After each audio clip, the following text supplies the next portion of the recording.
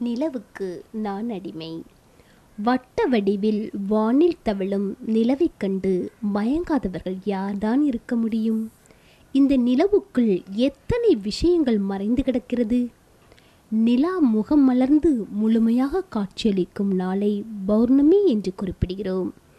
அழகிய பெண்களை நிலவுக்கு ஒப்பிடுகிறோம். வட்ட வடிவிலான அழகிய நிலா போன்ற முகம் என்று கூறுகிறோம்.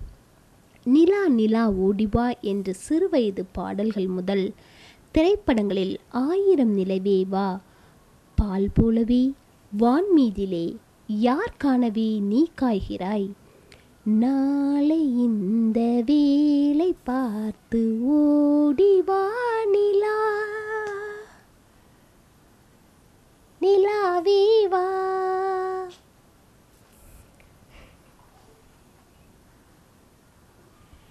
நிலவுக்கு என்மேல் என்னடி கோபம்? நெருப்பாய் தெரிகிறது. உட்பட பல்வேறு பாடல்கள் இன்றும் நம் செவிக்கு இனிமையாக உள்ளது.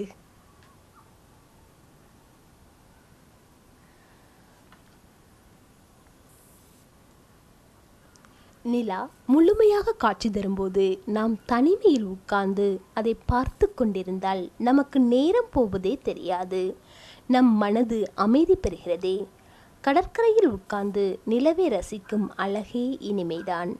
வெண்மேக கூட்டங்களுக்கு இடையே கண்ணாம்பூச்சி விளையாடுவது போல நிலா தோன்றி மறையும் அழகுதான். எத்தனை எத்தனை வார்த்தைகளால் வர்ணிக்க முடியாது. நிலவை பற்றி மேலும் சில தகவல்கள். நிலவு பூமியிலிருந்து மூன்று லட்சத்தி எண்பத்தி நாலாயிரத்தி நானூறு கிலோமீட்டர் தொலைவில் அமைந்துள்ளது. நிலவு உருவாகி நான்காயிரத்தி ஐநூற்றி இருபத்தி ஏழு பில்லியன் வருடங்களாகின்றன. நிலவு ஒரு முறை சுற்றி வருவதற்கு இருபத்தி ஏழு நாட்கள் ஆகின்றன. நிலவின் சுற்றளவு பத்தாயிரத்தி தொள்ளாயிரத்தி பதினேழு கிலோமீட்டர் ஆகும். நிலவின் எடை ஏழு பெருக்கல் பத்தின் அடுக்கு இருபத்தி ரெண்டு கிலோகிராம் ஆகும். நிலவை ரசிக்க வாருங்கள்.